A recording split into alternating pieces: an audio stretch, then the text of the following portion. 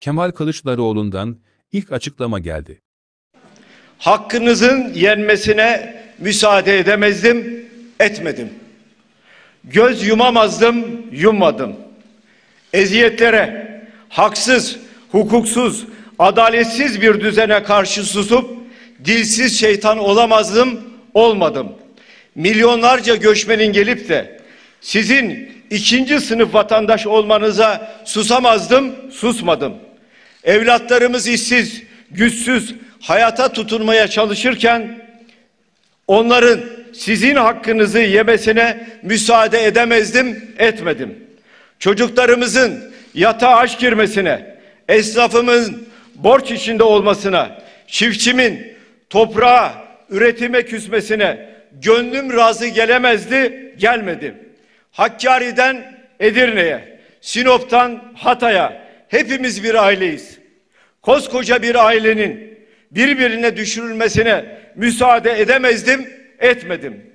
Her gün her şeye zam gelirken benim halkımın belinin bükülmesine, dolabının boş olmasına gönlüm razı gelemezdi, gelmedim.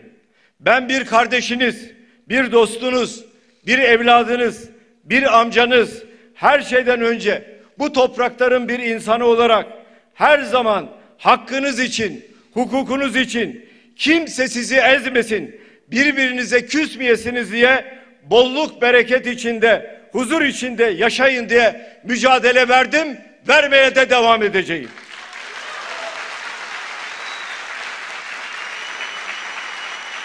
Şimdi, şimdi sizlerden bir ricam var.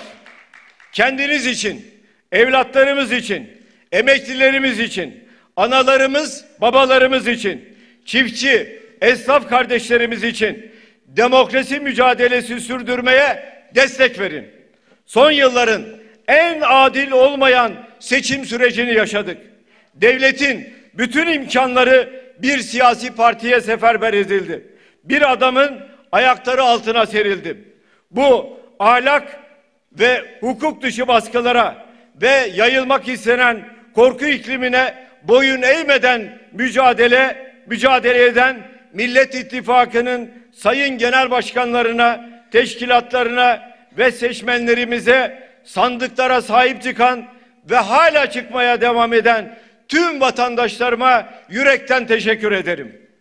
Bir özel teşekkürüm de kadınlar ve gençlere. Demokrasi mücadelemizin gerçek kahramanları onlardır.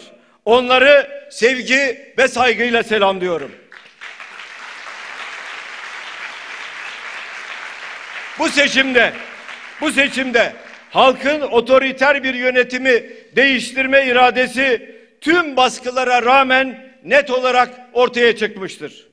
Cumhuriyet Halk Partisi ve Millet İttifakı tüm unsurlarıyla her cephede mücadelesini vermektedir. Ülkemize gerçek anlamda demokrasi gelinceye kadar bu mücadelenin öncüsü olmayı sürdüreceğiz. Bu vatan için ne yapsak azdır. Bilin ki benim asıl üzüntü sebebim ülkeyi bekleyen çok daha büyük sıkıntılardır. O sıkıntıların karşısında da ilk moralli bir şekilde dimdik ayakta görmek istiyorum. Yürüyüşümü sürüyor ve buradayız. Hepinize saygılar sunuyorum.